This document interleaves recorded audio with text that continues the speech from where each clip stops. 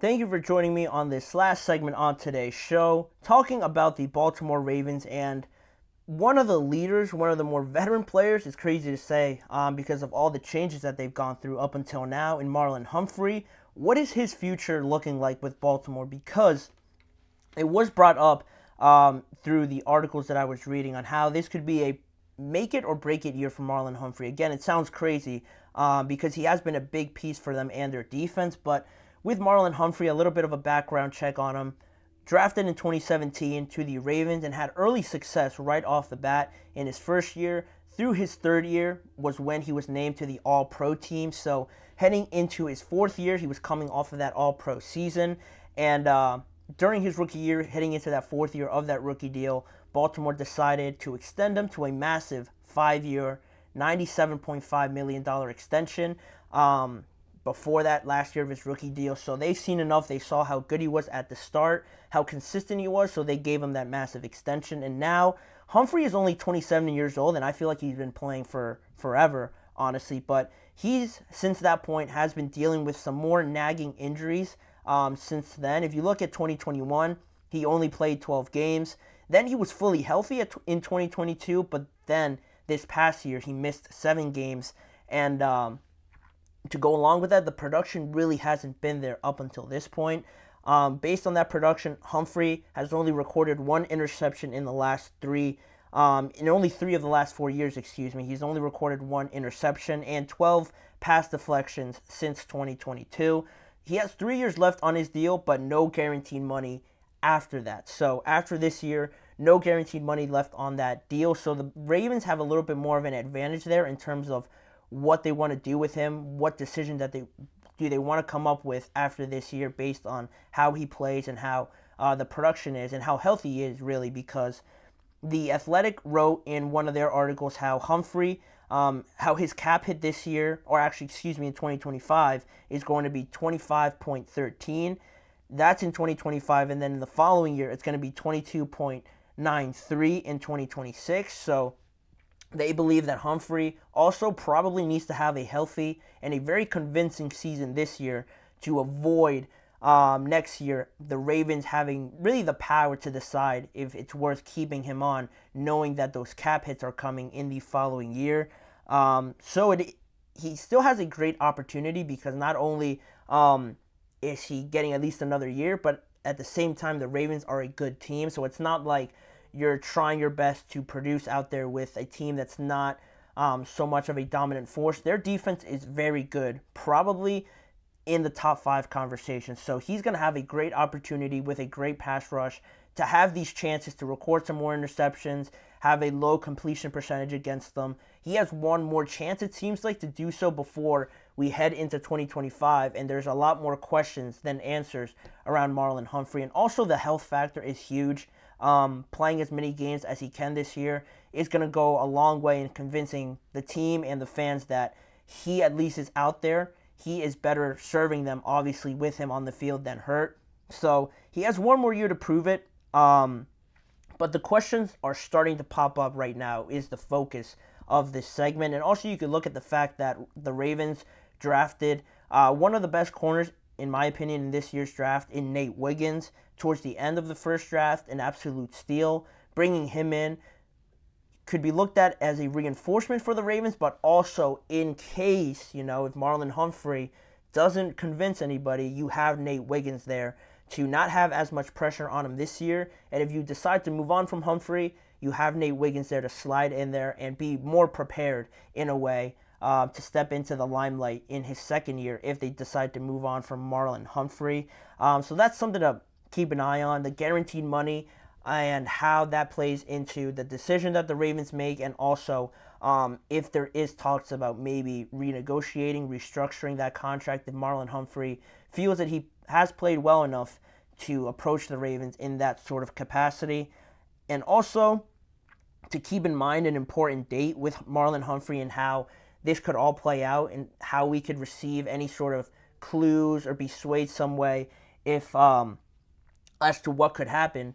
In March of 2025, Humphrey's deal includes a $4 million roster bonus in March of 2025. So a decision most likely will come by then because if they're not convinced by Marlon Humphrey, they're not going to wait until after March to cut him or release him and give him that $4 million roster bonus. A decision will most likely come by then. And then at that point, if it comes that early in the process of the offseason, it could be a post June 1st um, designated release by the Ravens. Like we've seen a lot this year. Um, by doing so, the Ravens would actually save $18 million in cap space by designating designating Humphrey as a post June 1st release. So another thing that could benefit the Ravens, not to say that they should do it, but it is something that's enticing because of the fact of where Marlon Humphrey is right now.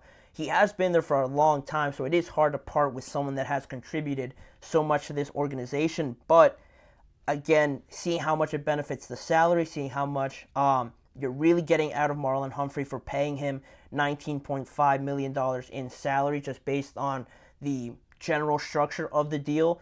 He has no more guaranteed money after that, so that benefits the Ravens a little bit more. But um, it is something that they have to keep an eye on. And Humphrey has been one of the most, I think, um, one of the players that advertises the Ravens the most. He has a podcast, so he always talks about it on there and how um, solid the Ravens are. And he's one of the most prominent faces that once you think of the Ravens defense, you think of Marlon Humphrey right away, Roquan Smith right away. Those guys that have been there for a long time, and there's no way anyone's touching Roquan Smith ever. He's probably going to retire there as a Raven, but Marlon Humphrey has been there for a long time now, and to see the questions pop up, it would certainly be weird to not see him out there.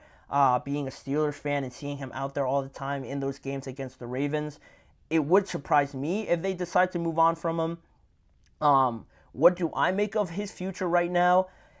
It's a little weird just because I do acknowledge the times that he isn't out there and how recently he has missed a lot of games. So that would be my biggest concern if I were a Ravens fan is how healthy he could be going forward because I think just based on ability and where he is at, only 27 years old, I don't think he's done you know, bad enough to convince you that he's not still a good player. To me, it's those injury concerns that keep popping up, and that's not something that the Ravens really need to deal with right now because they are in their Super Bowl window. They are in the point in time where Lamar Jackson, MVP conversation year in and year out. They just brought in Derrick Henry. Um, Mark Andrews is healthy now. Isaiah Likely, you saw what he could do last year and how excited you can get from him. Zay Flowers as well you have this point in time now where everything is falling into pieces and you don't need health injuries to sort of get you there, but then you just fall short because your best players aren't out there. That's my biggest concern. I don't know what they're going to do. Again, it just falls to whether he's healthy enough to be out there for a consistent amount of games. That's my biggest deciding point in all of this. So, whether what happens or not, I won't be surprised. Or actually, I will be more surprised if they do move on from him. But um, I could see it either side, whether they decide to do that or not. But right now, it stands in a weird spot.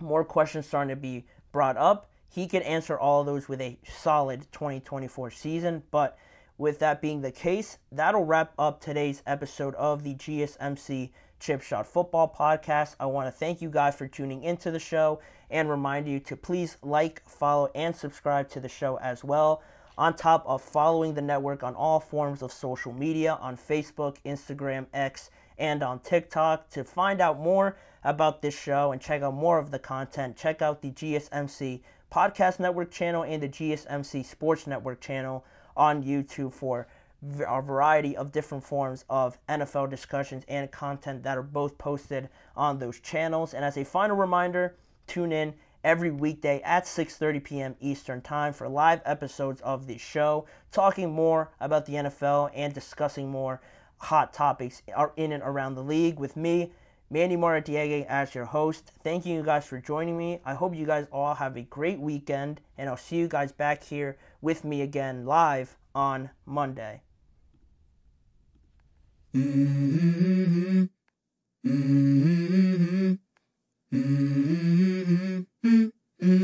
Let's go. I wake up to a little bit of drool on my pillow, feel like it's gonna be a bad day. Yeah, I'm tired of shit, and the coffee ain't hit yet. Damn, ain't that great. I don't wanna go